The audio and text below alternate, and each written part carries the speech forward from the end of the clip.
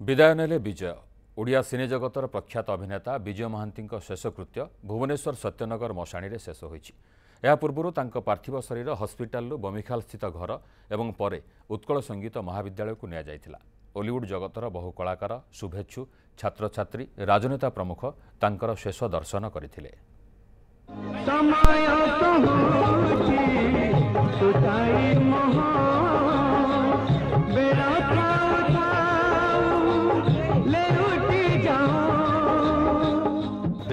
ଏତେ ଉଚ୍ଛୁରତ ହୋଇନଥିଲା।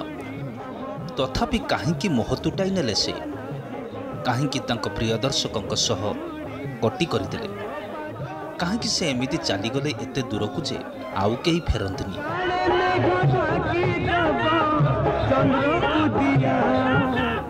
ପଞ୍ଚଭୂତରେ ବିଲୀନ ହୋଇଗଲେ ବିଜୟ ମହାନ୍ତି।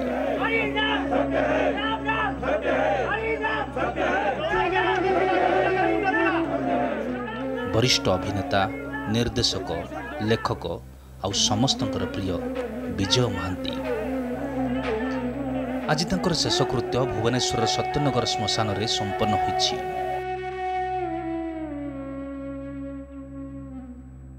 ଅନେକ ଯନ୍ତ୍ରଣା ଆମେ ସମସ୍ତେ ସୁଖାଭିଭୂତ ମର୍ମାହତ। ଆଉ କ'ଣ କହିବୁ? ବର୍ତ୍ତମାନ ଦିନରେ ଆମେ ଖାଲି ଏତିକି ଆଶା କରିବୁ ତାଙ୍କର ଅମର ଆତ୍ମାର ସଦ୍ଗତି ହେଉ ଚନ୍ଦ୍ରା ମ୍ୟାଡ଼ାମ୍ ତା ପରିବାର ବର୍ଗକୁ ସେତିକି ଶକ୍ତି ସାହସ ଧୈର୍ଯ୍ୟ ଦିଅନ୍ତୁ ମୁଁ ତ ଜଣେ ବଡ଼ ଭାଇଙ୍କୁ ହରାଇଲି। ଆଉ ଓଡ଼ିଶା ଚଳଚ୍ଚିତ୍ର ଜଗତ ଜଣେ ମହାନ କଳାକାରଙ୍କୁ ହରାଇଲା। ଗୋଟେ ଯୁଗର ଅବସାନ ଘଟିଲା। ଗତକାଲି ରାତିରେ ହଠାତ୍ ସେ ଆରପାରିକୁ ଚାଲିଗଲେ। ସକାଳ ପ୍ରାୟ ସାଢ଼େ ଦଶଟାରେ ତାଙ୍କ ମରଶରୀର ହସ୍ପିଟାଲରୁ ଭୁବନେଶ୍ୱର ବମିଖାଲ ସ୍ଥିତ ବାସଭବନକୁ ନିଆଯାଇଥିଲା।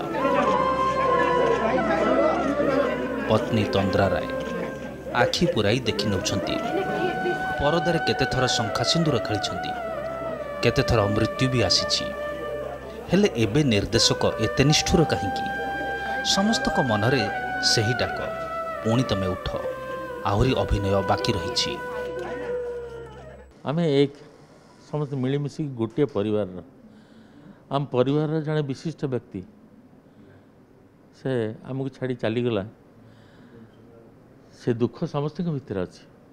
କଷ୍ଟ ମନ ଭିତରେ ଅଛି। ଆଉ ଟିକେ ଆଗକୁ ଚାଲିଗଲେ ଫିଲ୍ମ ଇଣ୍ଡଷ୍ଟ୍ରି ଇଣ୍ଡଷ୍ଟ୍ରିକି ତ ଆହୁରି ବେଶୀ ଦୁଃଖ। ବାସଭବନରୁ ତାଙ୍କ ମରଶରୀର ଉତ୍କଳ ସଙ୍ଗୀତ ମହାବିଦ୍ୟାଳୟକୁ ନିଆଯାଇଥିଲା।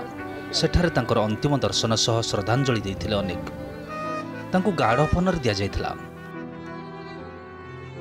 ଉତ୍କଳ ସଙ୍ଗୀତ ମହାବିଦ୍ୟାଳୟରେ ବିଜୟ ମହାନ୍ତି ଉଣେଇଶହ ସତସ୍ତରୀରୁ ଅଧ୍ୟାପନା କରିବା ସହ ପରେ ସେଠାରେ ଅଧ୍ୟକ୍ଷ ହୋଇଥିଲେ।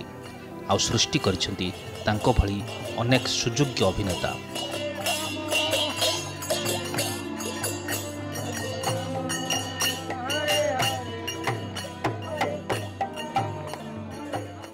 ଆମ ବିଭାଗ ସହିତ ସେ ଓତପ୍ରୋତ ଭାବେ ଜଡ଼ିତ ଥିଲେ।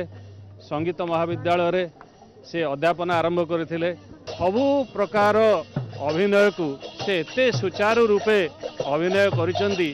ଯେ ଓଡ଼ିଶାର ଲୋକମାନଙ୍କର ମାନସ ପଟରେ ସେ ସବୁଦିନେ ଜାଜଲ୍ୟମାନ ହେଇକରି ରହିବେ ଏଇ କଲେଜରେ ପାଠ ପଢ଼ୁଥିଲୁ ଆଜି ଯେଉଁଠି ତାଙ୍କୁ ଗାର୍ଡ଼ ଅଫ୍ ଅନର୍ ଦିଆହେଲା ସେଇ କଲେଜରେ ମୁଁ ପାଠ ପଢ଼ୁଥିଲି ସକାଳ ବେଳା ପାଠ ପଢ଼ଉଥିଲେ ଲଞ୍ଚ ବ୍ରେକ୍ ପରେ ଏଇ ଏଇ ବିଲ୍ଡିଂରେ ସିଏ ହିରୋ ଥିଲେ ମୁଁ ଭିଲାନ୍ ଥିଲି ଆଉ ତାଙ୍କ ଜାଗା କେହି ପୂରଣ କରିପାରିବେନି।